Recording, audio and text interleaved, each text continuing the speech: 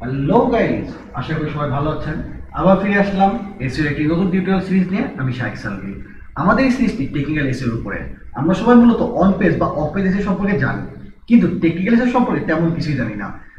মূলত technical SEO on পেজের একটি অংশ। কিন্তু বর্তমানে টেকনিক্যাল এসিওকে একটি আলাদা অংশ হিসাবে ধরা হয়। কারণ টেকনিক্যাল এসিওর সেক্টর অনেক বেশি বৃদ্ধি পাচ্ছে। সার্চ ইঞ্জিনের ক্রাউডিং সিস্টেম যত আপডেট হচ্ছে টেকনিক্যাল এসিওর গুরুত্ব তত বৃদ্ধি পাচ্ছে। এই জন্য আমরা টেকনিক্যাল এসিও নিয়ে একটা ফুল সিরিজ টিউটোরিয়াল তৈরি করব। প্রথমেই জেনে আসি টেকনিক্যাল ইস্যু কি। টেকনিক্যাল ইস্যু কি? এই সম্পর্কে জানার আগে আমাদের জানা দরকার টেকনিক্যাল ইস্যু কীভাবে কাজ করে। তাহলে আমরা সহজেই বুঝতে পারব টেকনিক্যাল ইস্যু কি। চলুন জেনে নেই টেকনিক্যাল ইস্যু কীভাবে কাজ করে। টেকনিক্যাল ইস্যুর প্রধান কাজ হলো ওয়েবসাইটকে সার্চ ইঞ্জিন ফ্রেন্ডলি করা। অর্থাৎ সার্চ ইঞ্জিন যেন সহজে ওয়েবসাইট ক্রাউডিং করতে পারে। যেহেতু প্রতিনিয়ত সার্চ ইঞ্জিনের র্যাঙ্ক ফ্যাক্টর পরিবর্তন হচ্ছে, তাই ওয়েবসাইটকে সার্চ ইঞ্জিন ফ্রেন্ডলি করা যার ফলে যে কোনো ফ্যাক্টরের জন্য ওয়েবসাইট রেডি থাকে এছাড়া আমরা একটা জিনিস খেয়াল করে দেখতে পারব যে বর্তমানে পিসির তুলনায় স্মার্টফোন ইন্টারনেট ইউজার বেশি। একটি সার্ভেতে দেখা গেছে, বর্তমানে একান্ন দশমিক দুই পার্সেন্ট মানুষ স্মার্টফোন দিয়ে ইন্টারনেট ইউজ করে। তাহলে বুঝতেই পাচ্ছেন পরিমাণটা কত বেশি। তাই যদি আপনার ওয়েবসাইটটি সার্চ ইঞ্জিন বা স্মার্টফোন ফ্রেন্ডলি না হয়, তাহলে আপনি কি পরিমাণ ভিজিটার হারাবেন বুঝতে পারছেন। তাহলে আমরা সহজেই বলতে পারি টেকনোলজির গুরুত্বটা কত? এখন আসি এত এত কিছু জানলাম, জানার পর এখন কি? টেকনোলজিটা আসলে কি?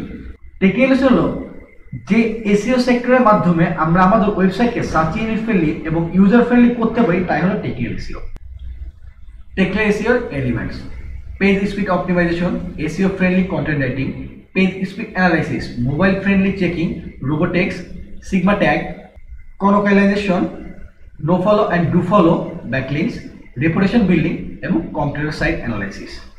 প্রথমে আমরা আলোচনা করব page speed optimization.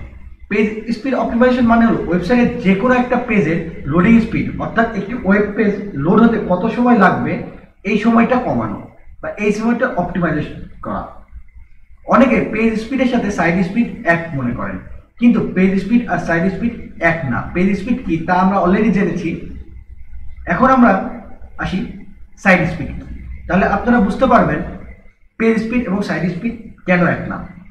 Side speed ওয়েবসাইটের যে কোনো লিঙ্কে ক্লিক করলে কত দ্রুত রেসপন্স করবে, অর্থাৎ আপনি এক লিঙ্ক থেকে অন্য লিঙ্কে যাওয়ার সময় যে রেসপন্স টাইম তাই হলো সাইড স্পিড সাইড স্পিড হলো মূলত সব ওয়েব স্পিডের বা ওয়েবসাইটের ওয়েব পেজের স্পিডের average SEO friendly content writing কোনো লক্ষ্য স্থির করে যে কন্টেন্ট লেখা হয়, তাই হলো এসিও কন্টেন্ট বা এসিও ফ্রেন্ডলি কন্টেন্ট অর্থাৎ আপনি বলতে পারেন এমন কন্টেন্ট যা এসিও করতে সুবিধা হয় বা এসিও করার জন্য যে কন্টেন্ট লেখা হয়।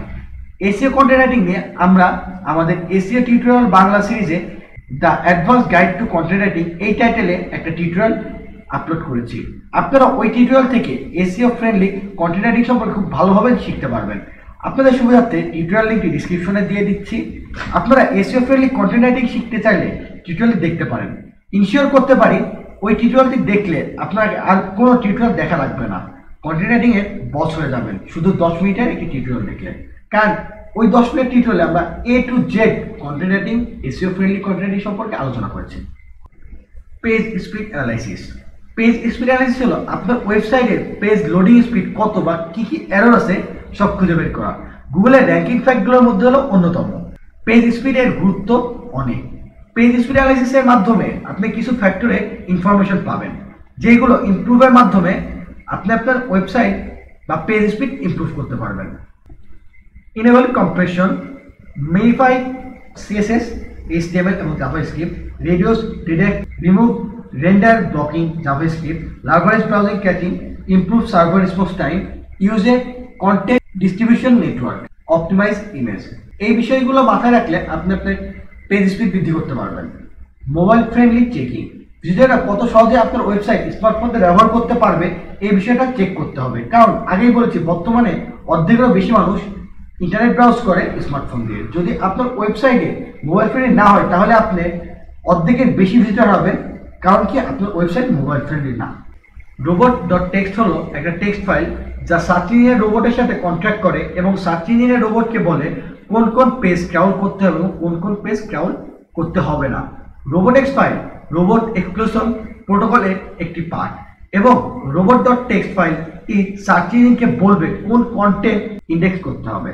Schema dot org markup schema dot org বা সীমা ট্যাগ হলো এক প্রকার ট্যাগ যা এইচটিএমএল এর সাথে ব্যবহার করা হয়, যার ফলে সার্চ ইঞ্জিন আপনার ওয়েবসাইটের কন্টেন্ট প্রেজেন্ট আরও আকর্ষণীয় করে, যার ফলে আপনার কন্টেন্ট সহজে সার্চ ইঞ্জিন র্যাঙ্ক পেজে দেখাবে। বর্তমানে সীমা ট্যাগ গুগলের ফ্যাক্টর র্যাঙ্ক ফ্যাক্টরের মধ্যে উল্লেখযোগ্য।